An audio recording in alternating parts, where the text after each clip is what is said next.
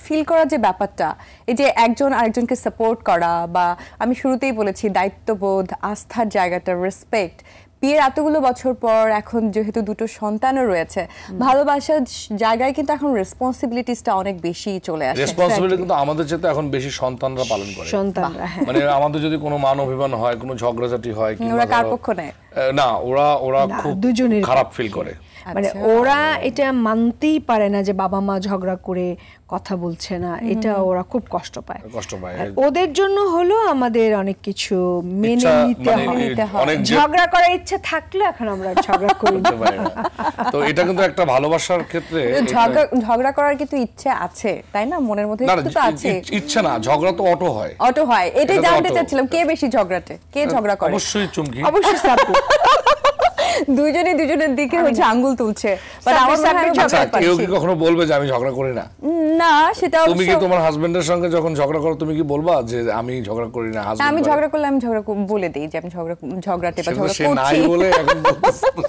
একদমই না। আমার মনে হয় মানে টক ঝাল মিষ্টি মানে ভালোবাসার হ্যাঁ, সম্পর্কটা একটু ঝাল থাকা উচিত তাই, না? হ্যাঁ। তো আপনাদের ক্ষেত্রে এই যে আহ, বলছি যে এতগুলো বছর শুরুর দিকের কথা আমি জানি যে চিরকুট দিয়ে প্রেম বা ভালোবাসা শুরু হয়েছিল। এখন কি চিরকুট লেখা হয়?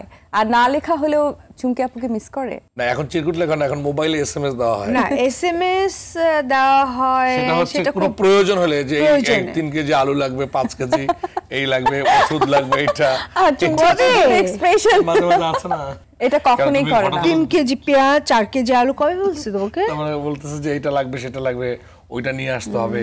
এসএমএস করে? তবে সাব্বির অনেক ভালো লিখে সাব্বির সাথে যখন আমি প্রেমের সময়টার কথা, করতাম তখন সে খুব সুন্দর রোমান্টিক চিঠি লিখতো। এখন আর আমি কার্টুন আঁকাতাম ফুল আঁকাতাম দিয়ে দিতাম কারণ আমি লিখতে পারি না। আচ্ছা। আমার লেখালেখি তো আছেই আমি যেহেতু নাটক লিখি সে তো আমাকে লিখতেই হয় নানান রকমের শব্দ চয়ন সেটা এখন নাটক লিখো তখন তার নাটক লিখ মানে তখন আসলে ওই প্রেমের চিরকুট থেকে শুরু সেই। সুপ্ত প্রতিভার কিন্তু শুরুটা হয়েছিল।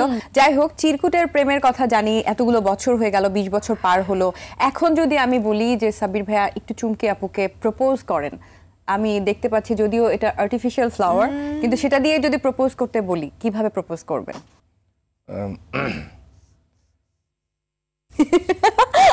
এত রোমান্টিক দৃষ্টি নিয়ে তাকালেন যেটা দেখেই তো একদম ভালো লাগা কাজ করে গেল।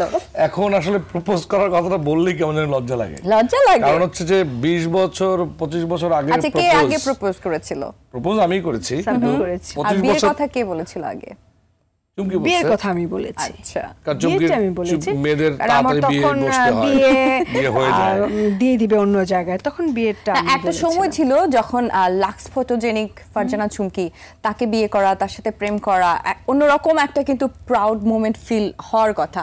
আর এখন যখন সবাই বলে মির সাব্বিরের ওয়াইফ ফারজানা চুমকি। এটাও নিশ্চয়ই একটা ভালো লাগা এক্সট্রা ফ্যাক্টর হিসেবে কাজ করে দুজনের খুব ভালো লাগে কারণ হচ্ছে আবার মাঝে মাঝে জেলাস ফিল feel একেবারে যে করি। না সেটা না। যে একই সাথে আসছি মিডিয়াতে একই সাথে কাজ করছি সাব্বিরকে সবাই চেনে আমাকে তো কেউ চেনে না। কে বলেছে চিনে না? বলছি মানে হ্যাঁ, ও হ্যাঁ, যে এইভাবে জনপ্রিয় একদম গ্রামে গঞ্জে হাটে মাঠে ঘাটে সবাই চিনে। সবাই।